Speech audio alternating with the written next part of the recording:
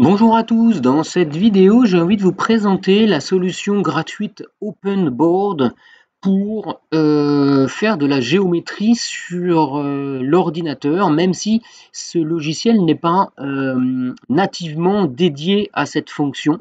C'est-à-dire que en fait, OpenBoard est un logiciel de gestion de tableau blanc interactif et pas un logiciel de géométrie.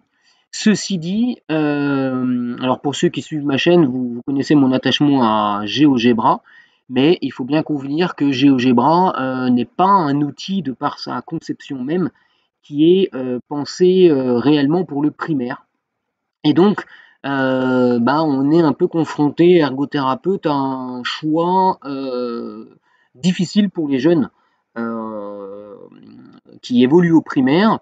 Alors, par le passé, j'ai utilisé euh, le logiciel de l'INSHA, la trousse géotracée, un TGT, mais qui est très vieux, qui est plus développé, euh, et qui est quand même, euh, alors qu'il présente des fonctions très intéressantes, mais qui est, moi, en tout cas, je, me permets de ne pas le considérer comme utilisable en 2022. voilà, ne serait-ce que, voilà, pour celles, les personnes qui ont essayé d'ajouter une image en fond d'écran sur TGT pour faire l'exercice de géométrie par-dessus, euh, bah, comprendront ce que je veux dire parce qu'en en fait il est quand même voilà il, il, est pas assez euh, il est trop vieux quoi. Tout simplement il est obsolète même si les, fonctionnalités qu'il présente fonctionnent encore. Voilà. Donc du coup c'est vrai que euh, bah, on avait le choix un peu entre TGT et pas grand chose et justement l'objectif aujourd'hui c'est de vous montrer OpenBoard parce que je trouve que OpenBoard vient agréablement, même s'il n'est pas parfait, euh, largement amélioré TGT. Euh, j'ose espérer pouvoir rentrer en, relation par l'intermédiaire du forum et j'encourage les ergothérapeutes à, faire cette procédure parce que OpenBoard est un logiciel open source, donc vraiment les utilisateurs ont la capacité de, proposer, voilà, d'être force de proposition pour proposer des améliorations. Et je me dis que si on combine les forces de TGT à la modernité de OpenBoard, eh ben on pourrait avoir quelque chose de sympathique pour faire de la géométrie au primaire, c'est-à-dire avec des outils virtuels, les outils à l'écran. Donc on va y aller tout de suite et je vais vous présenter le site avec le téléchargement, D'accord Mais ça, ça va être quand même extrêmement rapide. Et puis ensuite, les fonctions de base du logiciel. Donc une fois que votre navigateur internet est ouvert, euh, donc vous ouvrez bah, la page de votre moteur de recherche par défaut et vous tapez Open et Board comme tableau. Alors avec ou sans espace, Board B-O-A-R-D. D'accord Et vous appuyez sur Entrée pour chercher. on a de la connexion parce que il me sort rien là. Voilà, open board, voilà, ça a été un petit peu long. Et vous arrivez sur la première résultat normalement, openboard.ch, voilà. Donc vous cliquez, donc The Best Interactive Whiteboard, le meilleur tableau blanc interactif. Vous arrivez sur la page de, de directement de téléchargement. Vous pouvez mettre le site en français si vous voulez, en cliquant sur le bouton français, d'accord vous êtes déjà, donc c'est même pas la peine de venir télécharger ici. Vous voyez qu'il y a une version pour macOS à partir de 10.13, une version de Windows à partir de Windows 10, hein, donc si vous avez Vista, Windows 8, ça ne fonctionnera pas, et une version également Ubuntu pour les utilisateurs de Linux. Donc je suis personnellement sous Windows, je vais donc cliquer sur le bouton télécharger OpenBoard pour Windows, et là de manière très classique, donc c'est la version 1.61, c'est marqué ici, d'accord? Je vais télécharger le fichier OpenBoard, donc installeur 1.61. Alors moi personnellement je ne vais pas le faire, donc je ne vais pas cliquer sur le bouton enregistrer parce que le logiciel est non seulement téléchargé mais il est déjà installé. Par contre, vous cliquez euh, vous de votre côté sur enregistrer, vous laissez dérouler le, téléchargement, il devrait y en avoir pour, euh, je crois qu'il fait 88 mégas, donc c'est pas extrêmement long en fonction de votre connexion. Et ensuite, je vous laisse l'installer de votre côté en double-cliquant sur le fichier que vous aurez donc téléchargé. Et à partir de là, eh ben, vous allez pouvoir lancer le logiciel. Donc voilà, bonne installation et on se retrouve tout de suite avec la présentation du logiciel. Moi j'ai choisi de ne pas mettre d'icône sur le bureau, donc quand j'ai besoin de le lancer, soit je viens cliquer sur le bouton démarrer et dans la liste ici, je vais à haut, je vais retrouver Open Board, voilà, ou Open Board, d'accord, ou alors plus simple, dans la zone de recherche, je commence à taper Open et il me met Open Board application, d'accord. Je vais cliquer sur ouvrir et voici à quoi ressemble le logiciel. Donc le logiciel se présente sous cette forme-là, d'accord, avec une partie à gauche que vous pouvez dérouler, ça c'est pour le nombre de pages euh, à l'écran, d'accord? Une partie à droite que vous pouvez dérouler également, j'y reviendrai, c'est ce qu'ils appellent la bibliothèque, avec notamment les applications, c'est là que je vais venir chercher ma règle, mon équerre et mon compas, par exemple, d'accord? Une partie supérieure qui me permet notamment de choisir la couleur de mes tracés, donc j'ai le choix entre noir, rouge, bleu, euh, vert et jaune, ainsi que l'épaisseur de mes tracés, fine, moyenne ou grosse, d'accord? Euh, Et ici quand même quelques boutons qui me permettent, il y a notamment un navigateur web euh, intégré, d'accord? Donc vous pouvez cliquer sur web, il vous amène directement sur la page open board, mais vous pourriez aller sur, sur Google hein, par exemple, sans sortir euh, sans sortir du, d'OpenBoard directement. Si vous voulez revenir sur OpenBoard, il faut cliquer sur l'onglet Tableau. D'accord Et quand même, parce que euh, je me suis retrouvé un peu en délicatesse au, tout début de ma pratique de ce logiciel, pour quitter. Donc, pour quitter, vous venez cliquer sur le bouton OpenBoard. Voilà, un clic gauche. Vous avez quelques raccourcis et notamment, vous avez euh, l'accès aux préférences, d'accord Et vous pouvez également quitter d'accord, en cliquant sur ce bouton-là. D'accord? Donc, vous avez également dans l'interface principale quand même cette zone ici en bas avec euh, des fonctions qui sont très intéressantes. Notamment, on, en verra, on, le verra plutôt pendant euh, le tracé, c'est les outils de zoom, donc zoom avant et zoom arrière. Donc euh, voilà, il y a l'outil de sélection D'accord C'est bien la flèche noire. Quand je veux sélectionner un élément qui est déjà tracé, je prends cet outil sélection. La main qui me permet de déplacer euh, la page. D'accord Donc mon zoom, alors je clique par exemple zoom moins, clique. Voilà. alors vous avez également ce cadre. Je pense que ça délimite une page A4. J'en ai pas la certitude, mais je suis presque sûr. Et donc zoom plus. Et donc, vous voyez qu'avec la main, clic gauche maintenu avec euh, l'outil de déplacement et vous pouvez déplacer euh, votre page. D'accord? Euh, Vous avez le pointeur laser qui ne sert à pas grand-chose et qui va, ce dont on va beaucoup se servir, c'est la ligne droite. D'accord? Donc, la ligne droite dont les caractéristiques sont reprises ici. Donc, j'avais rouge de sélectionner et, et l'épaisseur, je pense, fine.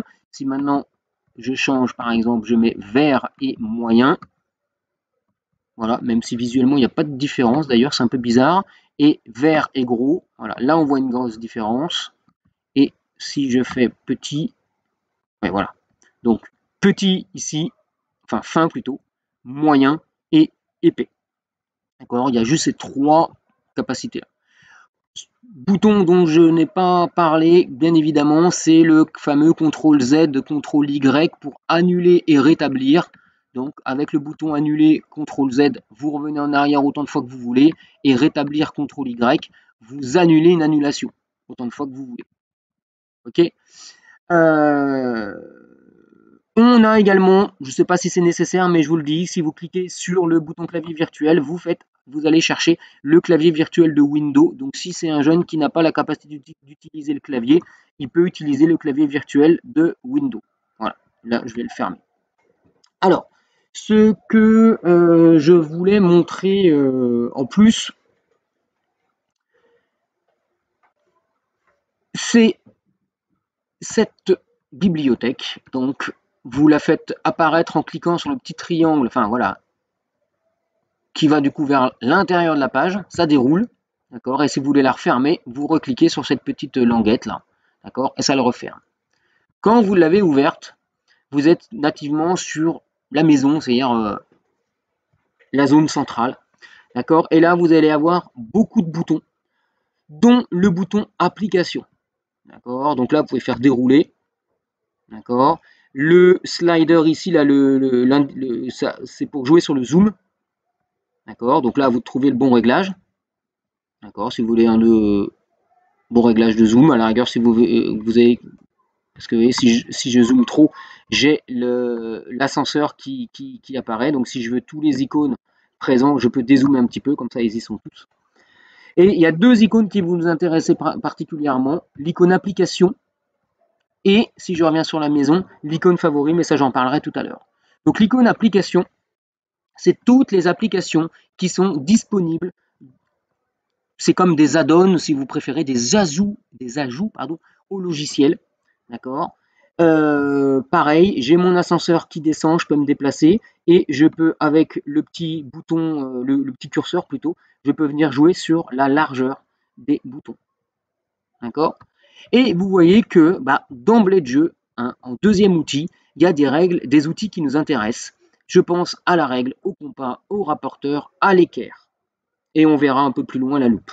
D'accord? Il y a d'autres euh, il y a d'autres outils qui peuvent éventuellement nous servir, éventuellement dans la réalisation de l'exercice de géométrie. C'est la calculatrice, d'accord? Euh, Et c'est à peu près tout. Je vous laisserai détailler euh, le, reste par vous-même. Donc, quel que soit l'outil que je veux, pour le prendre, j'amène ma souris par exemple sur la règle, je fais un clic gauche maintenu et je viens le chercher et l'amener dans la zone de construction. Donc là, j'ai amené ma règle. D'accord? Je peux avoir bien évidemment plusieurs outils en même temps. D'accord? Chaque outil fonctionne un peu de la même manière. Vous aurez une croix blanche sur fond noir, ça c'est pour fermer l'outil. D'accord? Donc sur le compas, elle est vers la pointe ici. D'accord? Le rapporteur, vous voyez, elle est ici. Donc la croix qui permet de fermer. Donc là, je vais remettre ma règle. Vous avez également un bouton de rotation, qui est celui-là. D'accord Sachez sur la règle que vous pouvez jouer, ça c'est quand même pas mal, sur la longueur de la règle. D'accord Vous pouvez définir la valeur que vous voulez. Le manque actuellement sur cet outil règle, c'est que les graduations, il est impossible de les colorier, ne serait-ce que, euh, comme dans TGT, les millimètres et les 0,5 et les centimètres. D'accord Alors, si on trouve que la règle est, donc le déplacement général de la règle qui se fait quand j'amène ma souris, vous voyez, hop, j'ai mon curseur qui passe avec la flèche quadridirectionnelle, clic gauche maintenu et je déplace ma règle. Si vous trouvez que la règle est trop petite en affichage, vous pouvez bien sûr zoomer. Donc je prends le plus de, de ma zone en bas là et j'ai ma loupe et je viens cliquer. Et ce qui est bien, c'est que l'outil s'agrandit. D'accord? Ça sera vrai d'ailleurs pour le rapporteur, le compas et, tous les autres outils. Attention parce que quand vous avez, vous voyez là, j'ai mon outil, euh, j'ai mon, zoom moins, d'accord? Du coup, je peux plus déplacer ma règle, d'accord? Je peux que zoomer. Donc, quand j'ai mon zoom moins comme ça, ou mon zoom plus d'ailleurs, je viens chercher l'outil sélection, je reclique sur ma règle, et là, de nouveau, donc là, je vais, je rezoomer un petit peu plus quand même, voilà. Et de nouveau, je peux la déplacer. Pour l'orienter, clic gauche maintenu. Alors, oui, alors là, d'ailleurs, c'est bien que, vous voyez, parce que il faut pas que j'ai mon curseur quadridirectionnel jaune là, il faut que je me déplace pour que mon curseur disparaisse et là, on le voit un petit peu. Hop, je le mets ici. Vous voyez, on voit un petit peu ce, curseur euh, violet. D'accord Donc, tant que je suis un curseur violet, là, je peux pivoter par un clic gauche maintenu ma règle. D'accord Alors, la règle, elle est intéressante, mais si je peux tracer un trait, donc comment je trace un trait? Bah, Tout simplement, je viens chercher, une fois que j'ai affiché ma règle, je viens chercher mon outil tracer une ligne droite. Je définis, moi je vais le mettre rouge par exemple, moyennement épais. D'accord? Et vous voyez que quand j'amène ma souris sur la règle, eh bien, le curseur change. Alors, il est tout petit, c'est un petit peu dommage. S'il pouvait être un peu doublé, ça serait bien. D'accord? Et on voit une main euh, qui pince un objet. Ce qui est très pratique, c'est que je suis aimanté. Donc, ça, c'est bien. Donc, j'amène ma souris, par exemple, sur le 0. Je peux même me mettre en dessous, d'ailleurs. Vraiment, comme si j'étais sous la règle. Je clique gauche, et ouais, là, il y a un point rouge qui apparaît. Et du coup, je peux venir tracer, par exemple, mon segment de 5 cm. D'accord? Vous n'avez pas forcément besoin d'être collé à la règle. Ce qui compte, c'est que vous, que vous ayez le, le, curseur avec le, la, petite main blanche là qui prend un objet, qui pince un objet. et je peux le faire comme ça. Voilà, ce qui est bien, c'est que si j'ai dépassé, par exemple, je veux aller à 8, si j'ai dépassé, tant que je, tant que je n'allâche pas mon bouton, eh bien, je peux corriger. D'accord? Et revenir. Voilà. Je reclique sur l'outil de sélection, je déplace ma règle, et j'ai donc mes deux traits. Je ne veux plus le deuxième, eh bien, je peux tout simplement annuler. Si vous voulez annuler le, par exemple, le premier segment, mais sans effacer le deuxième, à ce moment-là, c'est pas annulé. Parce que euh, avec annuler, je suis obligé d'effacer les chronologiquement. D'accord? Donc à ce moment-là, vous allez prendre l'outil gomme. D'accord? Et alors là, bah, comme, euh, comme souvent, donc j'ai la taille de la gomme ici, petite, moyenne ou grosse. D'accord? Donc là, je suis en grosse, en moyenne et en petit. D'accord? Donc là, je mets en moyenne. Et là, clic gauche maintenu. Et tout ce qui est dans la zone grisée va être effacé. D'accord Et là, je peux effacer mon premier segment. D'accord Voilà pour la gomme. Voilà pour la règle. Si maintenant, donc je reviens à l'outil sélection, je ferme ma règle, j'amène le compas. Alors le compas, donc toujours clic gauche maintenu et je l'amène dans mon dans, sur ma feuille. Alors le compas, le bouton ici pour le fermer. Ici, clic gauche maintenu sur la partie centrale du compas, en fait, sur le capuchon du compas. Ça me permet de l'orienter, mais sans tracer. D'accord? Clic gauche maintenu sur euh, la zone proche de la mine. Là, l'espèce de petit bouton avec les trois traits verticaux. Euh, clic gauche maintenu ça affiche la valeur 6,1 cm et donc là je peux réduire mon écart donc j'ai pas besoin de la règle d'accord? Euh, voilà donc bah, si je veux par exemple tracer un arc de cercle à 6 euh, cm voilà donc clic gauche maintenu 6 cm d'accord je change l'orientation encore une fois ici par exemple hop je vais me pointer donc je me déplace avec ma flèche quadridirectionnelle voilà j'amène sur le point D'accord Si je trouve que c'est pas assez visible, eh bien, je zoome plus. D'accord Je me déplace un petit peu avec la main. Clic gauche maintenu. Voilà. Donc là, on voit que la pointe de mon compas est vraiment bien sur le point de départ de mon segment. Donc je peux dézoomer. Voilà.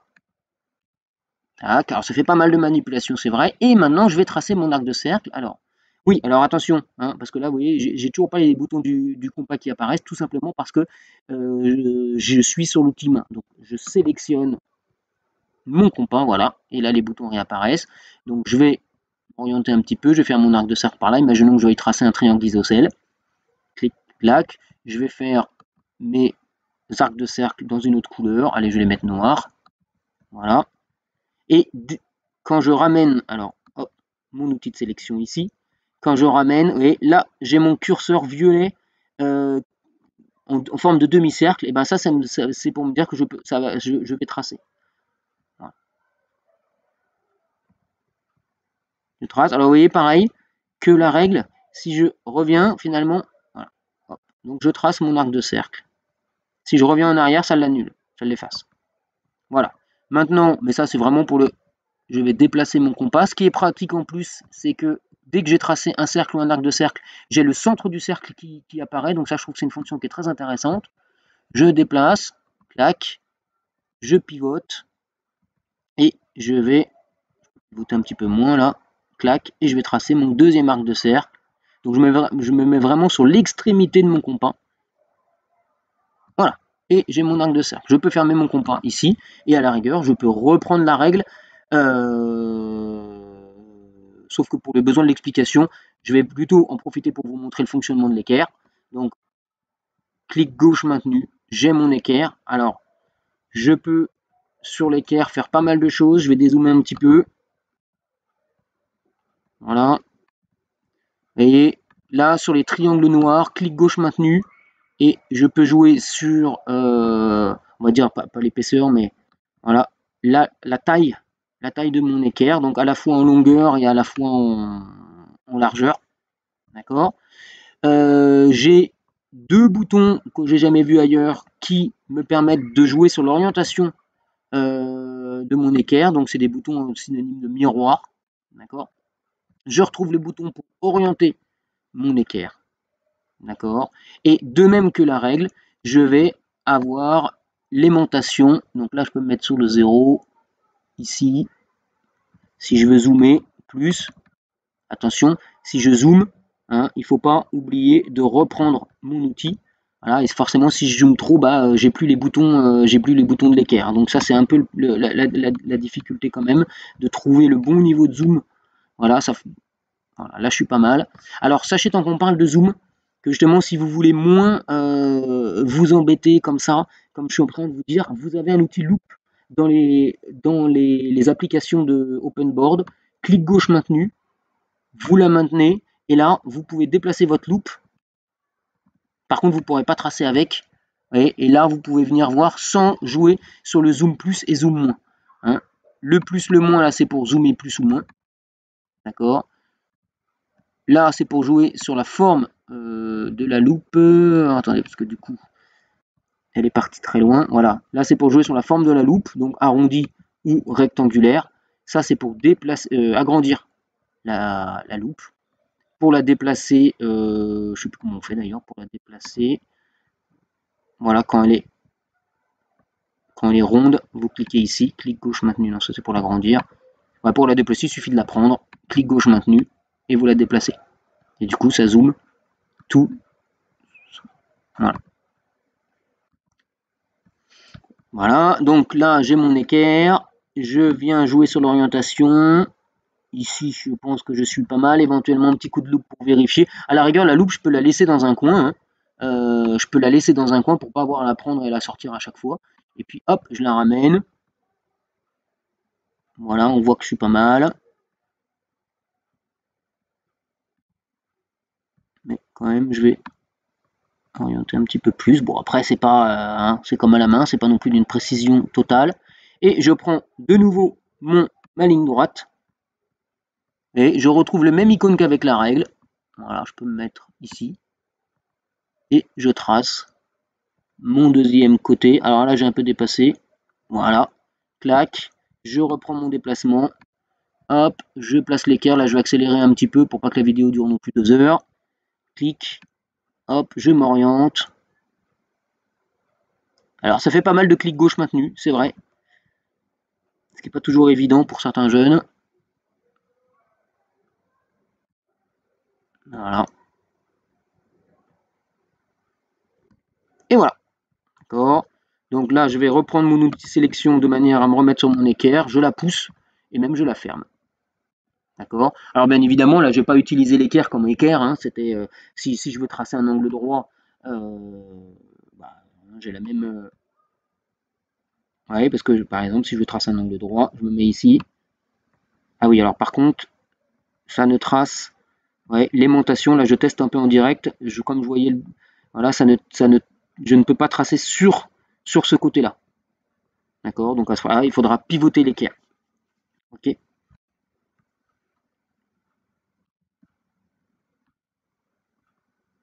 Et ce qui manque, mais ça je pense qu'on pourrait tout à fait, la, tout à fait le demander, c'est l'option justement régler euh, avec le zéro qui est aligné justement sur le bord. D'accord? Ça, piste d'amélioration. Ok, je ferme euh, mon équerre qui était quand même bien grande là. Déjà, je vais la mettre un peu plus petite. Voilà, c'est vraiment la plus petite possible. Clic-clac. Si maintenant on regarde rapidement donc euh, bah, le rapporteur, clic gauche maintenu, je le prends. Voilà, le rapporteur. Alors le rapporteur, tout simplement, euh, là, à la je vais faire une nouvelle page parce qu'on commence à plus voir grand chose. Donc, je prends mon rapporteur. Voilà. Je zoome un petit peu. Donc, on voit que les paramètres de zoom. Hein, donc là, après, je me balade de page précédente, page suivante, si j'ai plusieurs plages. Donc, ça, c'est assez facile. Je vois mes pages ici avec la page 1 comme mon premier tracé et la page 2 qui va mon deuxième tracé. Je peux comme ça dupliquer des pages et je peux surtout les supprimer.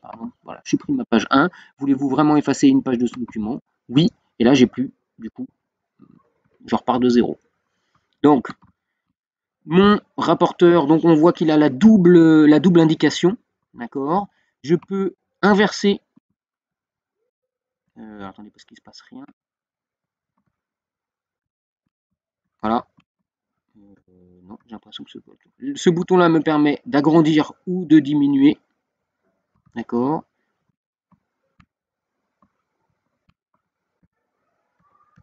Alors là, j'ai un problème avec ce bouton-là qui n'a pas l'air de fonctionner. Puisqu'il ne se passe rien, clic gauche.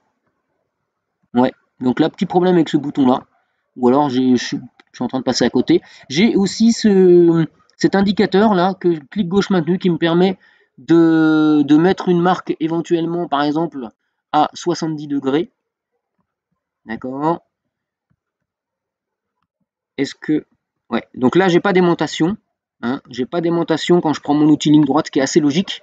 D'accord euh, J'ai aucune aimantation, que ce soit sur le centre ou sur le bord. Je, je redécouvre un petit peu l'outil en même temps que je fais la vidéo. Donc, si je voulais tracer un angle de 60 degrés, peut-être pour finir, eh bien, euh, donc, je vais cacher mon rapporteur. Je commence par prendre ma règle.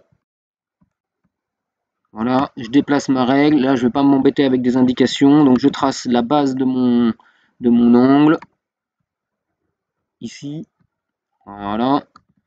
Je fais disparaître la règle. J'amène maintenant mon rapporteur. Clic gauche maintenu toujours. Tac, il est ici. Il peut peut-être être un peu plus petit. Voilà. Je le déplace avec ma flèche quadridirectionnelle. Je viens me mettre sur le point de départ. Ici. Toujours pareil. Je peux amener ma loupe éventuellement si je veux être sûr. Je préfère quand elle est ronde personnellement. Hop. Euh, voilà. Donc là, on voit qu'on est pas mal du tout. Voilà. Je la pousse. Ensuite, je vais mettre mon indicateur à 60 degrés.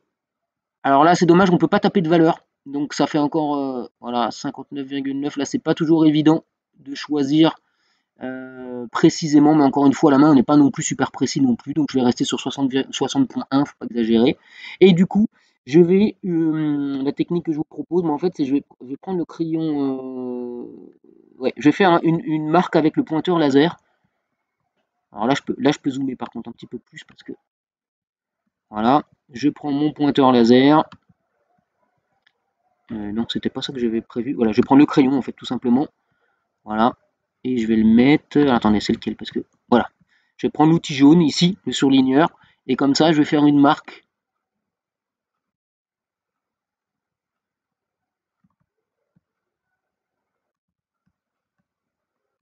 Et j'ai fait une marque en face de mon 60 degrés. D'accord? Là, je peux dézoomer un petit peu moins quand même parce qu'on n'y voit pas grand-chose. Voilà, hop, je me déplace. Et donc maintenant, le rapporteur, j'en ai plus besoin, donc je peux le cacher. Voilà. Et je vais faire réapparaître ma règle. Je vais aligner mon 0 avec mon point de départ. Euh, là, ma règle, par exemple, comme elle est longue, je suis obligé de vraiment... Je vais la raccourcir. Clic gauche maintenu. Hop, voilà, il n'y a pas besoin hein, qu'elle soit si longue que ça. Ça me permet de jouer sur le zoom et de maintenir quand même l'affichage des boutons euh, à l'écran. Voilà, c'est un peu peut-être un peu trop quand même. Ici. Voilà, je reprends ma règle et je viens. Hop là. À chaque fois je me fais avoir, ça c'est un peu dommage parce que je crois être sur le bouton de pivotement et en fait, voilà, là je suis sur le bouton de rotation, clic gauche maintenu et je viens aligner ma règle avec mon ma marque, je prends l'outil, et là je vais tracer, et je peux même passer au-dessus éventuellement, et j'ai mon angle de 60 degrés. Voilà, je fais disparaître ma règle, je fais disparaître ma loupe, et j'ai mon angle de 60 degrés. Donc je peux faire quand même pas mal de choses. Vous voyez, dans cet aperçu quand même très rapide, il y a quand même pas mal de fonctionnalités. Je peux bien évidemment mettre une image euh, en fond. D'accord? Ça, c'est pas extrêmement compliqué. Euh, il suffit d'aller chercher dans les documents, par exemple, une image. Euh, alors là, j'ai pas préparé ça, j'avoue, donc je le montrerai peut-être dans un, nouveau dossier, enfin dans une nouvelle vidéo, pardon, pour être sûr de, de pas vous raconter de bêtises. Donc je reviens sur tableau. voilà, j'ai ma main. D'accord. Et alors, dernière chose que je voulais vous montrer. Alors là, je vais annuler le, zoom pour faire disparaître le bouton ici. Je vais, vous faire, euh, je vais vous parler des favoris et des poubelles, et de la poubelle. Donc, favoris, parce que vous voyez que quand je reviens sur la maison, donc j'ai l'icône favori, qui est ici, pour l'instant qui est vide, d'accord Et euh, à l'inverse, tous les icônes, enfin tous les outils de géométrie, ils sont mélangés avec les autres. Donc, je propose, euh, enfin, je trouve intéressant éventuellement, si c'est compliqué pour le jeune, ben, je vais prendre ma règle, Et au lieu de l'amener sur ma zone de construction, je vais l'amener sur l'étoile jaune. Alors comme euh, visuellement ça, recouvre complètement l'étoile jaune, on ne le voit pas, mais par contre, là vous voyez, j'ai un, rond barré sur ma règle, et là j'ai le plus. Donc là ça veut dire que j'ai mis ma règle dans les favoris. Il se passe rien à l'écran, sauf que si je reviens sur la maison, et que je clique sur les favoris là, je vais les dézoomer un petit peu comme ça, on les voit bien ici. Ah, elle n'est pas apparue, alors des fois ça bug un petit peu, sinon il faut peut-être quitter le logiciel et recommencer. Voilà, hop. J'amène ma règle de manière à ce qu'il y ait bien le plus. Je lâche. Alors il veut pas. Ce que je vais faire, c'est que je vais quitter parce que je me rends compte de ce problème. Hop, je le, je réouvre.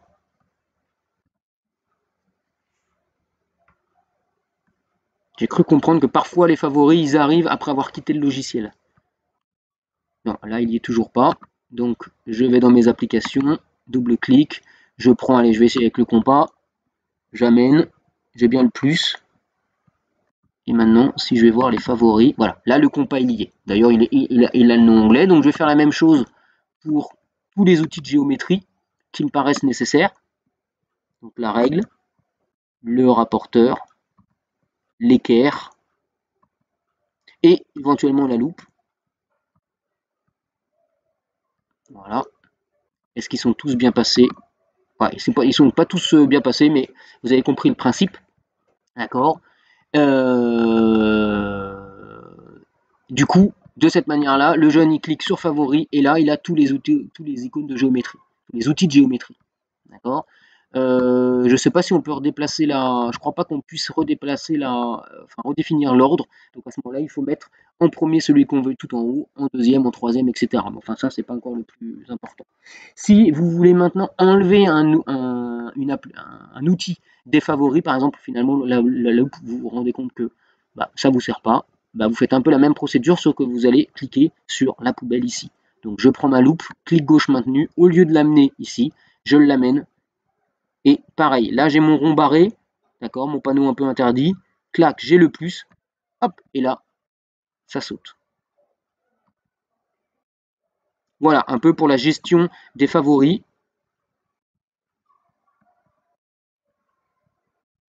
Par rapport aux outils, euh, donc règles, compas, rapporteur, équerre et loupe. Voilà, bah écoutez, euh, c'est un aperçu euh, très rapide. Euh, il n'est pas parfait pour la géométrie, il n'est quand même pas prévu pour, donc c'est bien. Ceci dit, il y a une marge de progression et j'imagine quand même vraiment qu'il soit possible de faire ajouter des euh, fonctionnalités qui, pourraient être spécifiques et intéressantes pour des jeunes, euh, pour des jeunes 10 par exemple. Voilà. Et eh bien écoutez, merci d'avoir suivi ce tutoriel et je vous souhaite une bonne fin de journée. Au revoir.